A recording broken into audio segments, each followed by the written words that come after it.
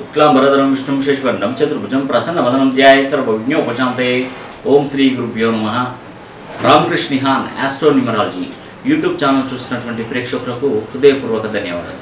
ఈ వీడియోలో పవన్ కుమార్ అనే పేరు గురించి మనం మాట్లాడుకుందాం।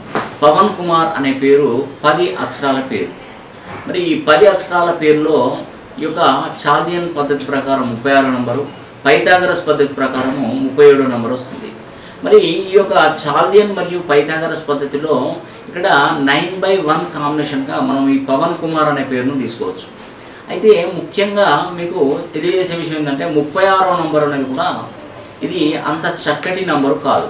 ఇదేంటంటే ఆరు మూడు కాంబినేషన్ గల నంబరు. దీని ద్వారా ఎక్కువగా నష్టపోవడం జరుగుతుంది. పవన్ కుమార్ అనే పేరు ఎవరైతే పెట్టుకుంటారో వాళ్ళు చదువు అనేది కూడా మధ్యలో ఆపివేయడం ఆ చదువు వలన వాళ్ళ ప్రయోజనం లేకపోవడం. వ్యాపారాలు పెట్టడం నష్టపోవడం అది ఫ్రెండ్షిప్ విషయంలో కూడా చాలా నష్టాన్ని తలెత్తుకోవడం. ఫ్రెండ్షిప్తో సహవాసం చేసినప్పుడు ఆ వాళ్ళు చేసిన తప్పులకు వీళ్ళకి నిందారోపణలు పడడం ఎక్కువ కష్టపడడం డబ్బు అంతా కూడా వృధాగా ఇతరులకు ఫ్రెండ్స్ కానీ చుట్టాలకు కానీ బంధువులకు కానీ వాళ్ళు సహాయం చేయడం మళ్ళీ ఆ డబ్బు అడుక్కునే విషయంలో వాళ్ళు నష్టపోవడం. అదేవిధంగా ఎక్కువగా వీళ్ళ ఆలోచన విధానం ఎట్లుంటుందంటే ఎవరైనా ఎవరినైనా కూడా త్వరగా నమ్మడానికి ఆస్కారాలు ఉంటాయి తొందరగా నమ్మేస్తారు ఆ తర్వాత నష్టపోయిన తర్వాత బాధపడతారు.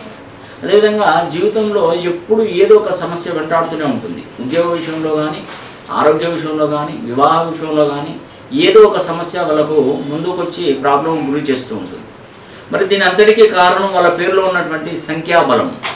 అదేవిధంగా నేను ఒక ఫిఫ్టీ పర్సెంట్ మాత్రమే మీకు తెలియజేస్తున్నాను.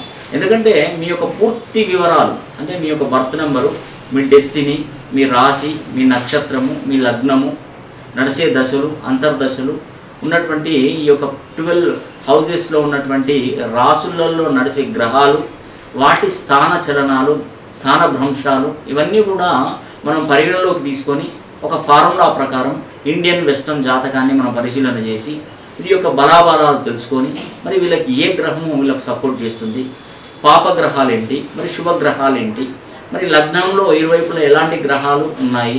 వీటికి వీళ్ళకు ఎలా ప్రయోజనంగా మారుతాయి? అనే అంశంపై మనం పూర్తి వివరణ తీసుకోవాలి. మరి పవన్ కుమార్ అనే పేరు ఎవరు పెట్టుకుంటారంటే ఈ యొక్క ఉత్తరా నక్షత్రంలో మరి మూడో పాదంలో జన్మించిన వారు ఈ పేరు పెట్టుకుంటారు.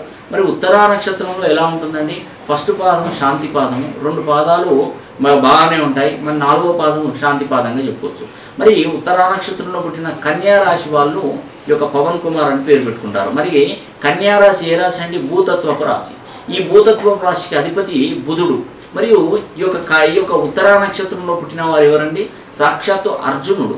ఉత్తరా నక్షత్రానికి అధిదేవత ఎవరండి? రవి సూర్య భగవానుడు. మరి ఇవన్నీ ఇలా ఉన్నప్పుడు పేరులో ఉన్నటువంటి బలాన్ని మనం మార్చుకోవాలి.